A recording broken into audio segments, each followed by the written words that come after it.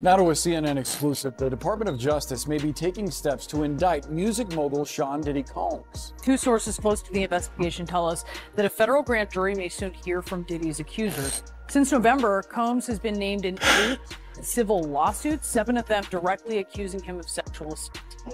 It looks like Diddy's new marriage is already in trouble, in case you missed it. His wife and newborn mother, Dana Tran, notified the authorities in order to save his reputation, according to reports. Last week, there were claims that Diddy and Dana got married. However, sources now believe that Diddy pushed the marriage in order to prevent Dana from releasing any bad information about him, since he is aware that he may face allegations from a grand jury. However, according to a second insider, Dana is frightened about Diddy and the possible damage he may inflict on her. Consequently, she must speak out and execute self defense measures without delay.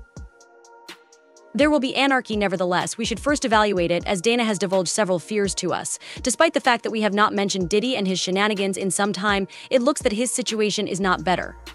He is apparently aware that the police are investigating him, since he seems to be marrying his newborn mother, Dana Tran, soon afterward. In reality, the situation has worsened. Dana is presently the mother of Diddy's last kid, Love Combs, and the birth astonished us since we had previously assumed that Diddy had quit having children at the age of 16. Yet, despite the fact that Diddy and Dana had been co parenting for a year, we had not thought that they were still together, which is why the news of their marriage was so surprising. It didn't take long for spectators to notice he was probably married to avoid having Dana testify against him when the authorities brought him up on many violations. I'm not sure if you've heard, but claims are circulating that the government has summoned a grand jury and is actively chasing witnesses to depose against him. The nuptials seemed weird as, before we knew it, he and Dana were married. This is because, theoretically, she cannot be called to depose against them if she is married. In any case, Dana has been sporting a ring in a few recent Instagram images. However, this merely helped to feed the claims further. One insider endeavored to deny the existence of Diddy's marriage and dismiss the charges, but a second source corroborated Diddy and Dana's rushed wedding, and it looks like Diddy did all in his power to keep Dana from spilling the tea on him and this makes me doubt how much info Dana has on him, as if he's willing to forsake his bachelorhood and marry her, she must know a lot about him. To be honest, we shouldn't be startled given in recent weeks even more absurd charges have appeared against him.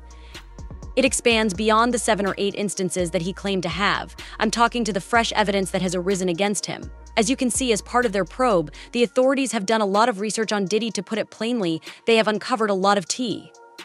For this documentary, 50 Cent also undertook exhaustive research on Diddy and uncovered some really horrible evidence, including the claim that Diddy killed Kim Porter's closest friend, Erica Kennedy. Everything about Erica's death appears unusual, hence, her death has always been a riddle. Her unfortunate and unexpected death appeared to have no explanation, and it's most plausible that she was on Al-Liv when she passed. Erica came to fame in the 2000s working in writing, blogging, and public relations for prominent fashion luminaries such as Tommy Hilfiger and Diddy Sean John. She had a deep relationship with Kim Porter, but she was equally committed to Kimora Lee Simmons. In fact, Erica was designated godmother to Kimora's children, and she and Kim Porter were also attendants at Kimora's wedding to Russell Simmons.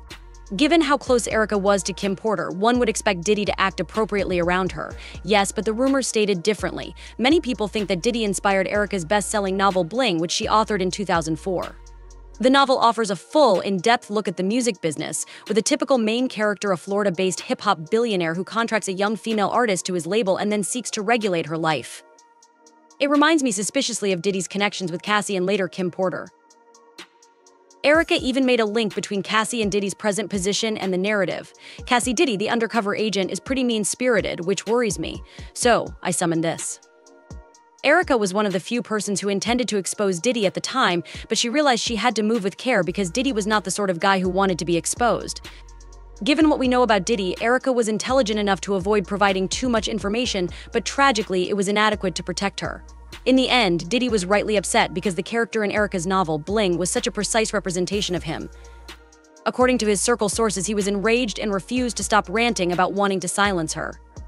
As previously noted, Eric was among the first to provide observations concerning the dubious characteristics of Diddy's parties and lifestyle in 2004, while most others avoided tackling such matters at all. Regarding her book, she remarked, Everyone was raving about how scandalous it was. I didn't realize what the fundamental problem was. I was convinced that I could produce an essay about a P. Diddy party and exhibit these folks as the actual center of scandal. I'm not sure what the circumstances were if there wasn't an evident signal that she wanted to testify and knew a lot about Diddy. Erica's demise was stunning and it left many people puzzled. Her popularity preceded her and she wanted to share more facts about Diddy in a future book. Unfortunately, she died in June 2012 under unexplained circumstances, and to further muddle things, the authorities have never divulged the official reason of her death, only guessing that she killed suicide. This level of secrecy is rare, especially considering that it is normal for even renowned persons to reveal the reason of dying. Because of the secret nature of Erica's case, there have been speculations that more criminal actions are taking place. People were confused and suspicious about her demise, prompting requests for a comprehensive inquiry. Although some claim sources indicated Erica had been suffering from sadness for some time, many people now dispute the official version due to the strange and disconcerting way in which her death was handled. Someone pretended to be a buddy and wrote, I'm not aware how Erica passed away. I am aware that she, like me, has felt sadness. We never expressed our personal experiences with sadness in detail. Instead, we occasionally deployed ambiguous terminology to illustrate its implications. When I got a call from her, she would casually say that she hadn't changed out of her sweatpants and that it was extremely dark in her apartment. She carried on that week. We developed a visceral trust for one another, akin to that of veterans of battle. If Erica truly committed suicide, it was most likely the outcome of a horrific day, the type of day that may be the worst day ever for a depressed person. Beth Henley's 1978 somber comedy Crimes of the Heart depicts a day like this for the three sisters left to face their mother's death, who hangs herself after leaving a message. My day was not terrific.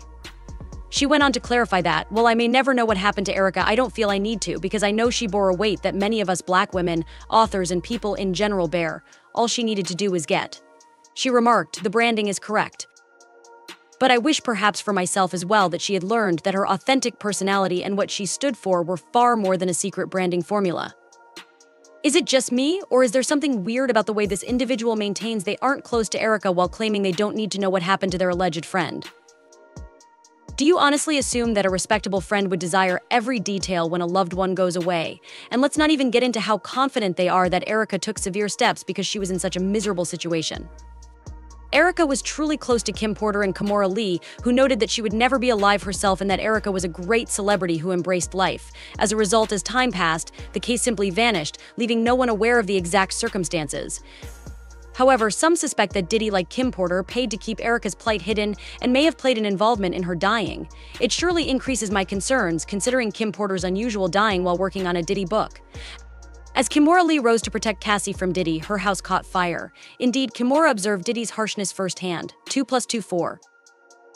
She had seen him touch Kim, and he had even tried to pursue her while she was pregnant. Is it truly possible to believe? According to press accounts, when Kimora said something to Combs, he threatened to hurt her, ending in a catastrophic cloud burst.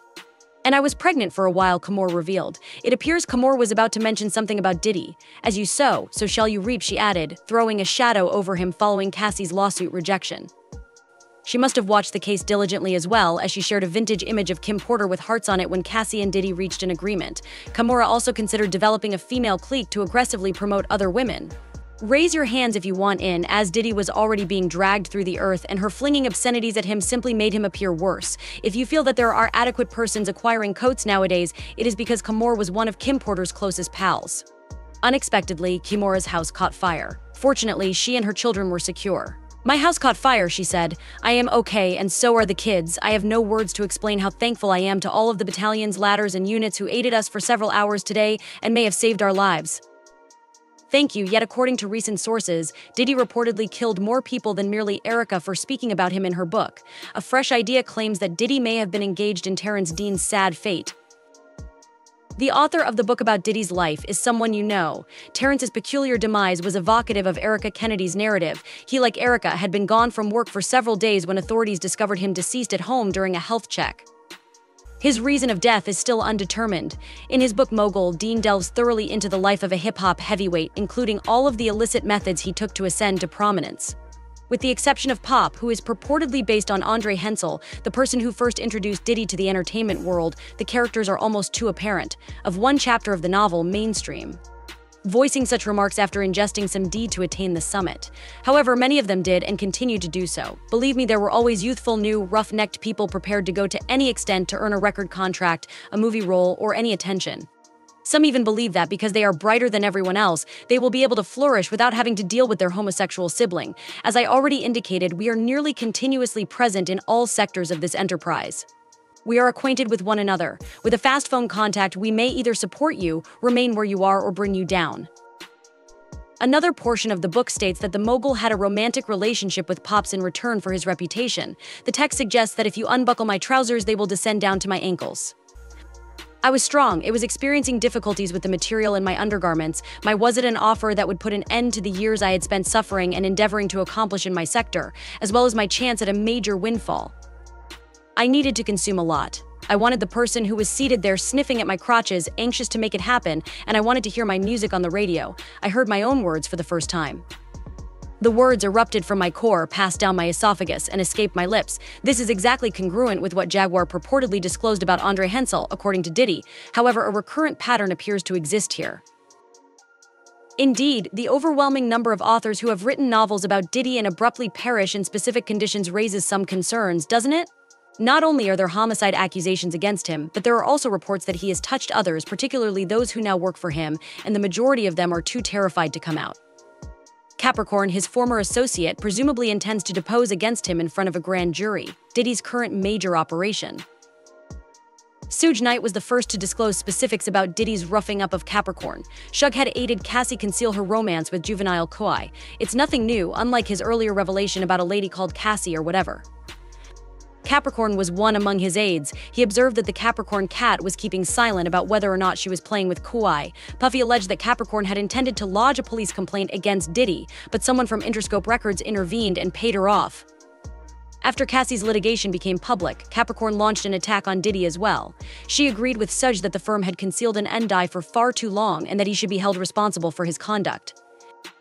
She wrote on Twitter, Don't follow those who do evil, and don't follow the path of the wicked. Avoid that road at all costs, turn around and take another route. Proverbs 4.14 encourages us to keep entrances wide. You must be completely prepared to give up the money. 2011 was a terrible year. Now let's discuss the context. All of this occurred in 2011, and her admission that it was disagreeable makes me infer that much more had to happen than she was letting on. She went on to accuse the corporation of allowing Diddy's inappropriate conduct and covering it up as she observed him harm women in his immediate proximity. For the past 11 years of my life, she added, I had to contend with everyone's insane dedication to the demon, and that black women would ultimately become the sacrifice. I pray this comes to an end. I don't think much of any of you if you can't keep your head down and act like everything is okay, discontinue attempting. Finally, she continued, they'll skin you, baby girl, wear you, and then act like they never wanted the skin. Kim was the one person who remained steadfast during the most difficult circumstances. Personally, I am fairly sensitive. I pray it is flawless. I am undeserving of this ripoff. Okay, given how much Capricorn despises Diddy, it's not surprising that she's willing to testify against him. Surprisingly, Azealia Banks acknowledged that Diddy had assaulted Cassie and other women. She even mentioned that she had seen Diddy contact Cassie. Diddy once beat her so mercilessly that he sent her on a three week vacation to Hawaii, assuring sure no one saw or inquired how her face had grown so hideous. Ava, I'm a Scorpio. No, no, no. What's your last name? Oh, Ava. What's your other last name? Ava. Eva Baroni Combs? Yes, it's, it's breaking news. Diddy adopted a white child. I want you, I want you to tell them the story about how I adopted you. You but you still have beautiful parents that, but you're my child also. Please, please tell the story. So, I was on the streets, and then Papa Combs decided that he would like to be a caring man. So then he saw me and decided to pick me up and said to come inside and play with the kids. Yeah.